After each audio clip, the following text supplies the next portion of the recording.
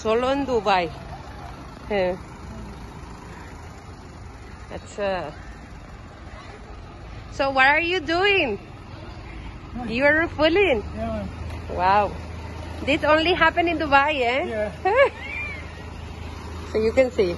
Actually, those are not my car, but they are refueling my neighbor's car. Wow. Petrol delivery.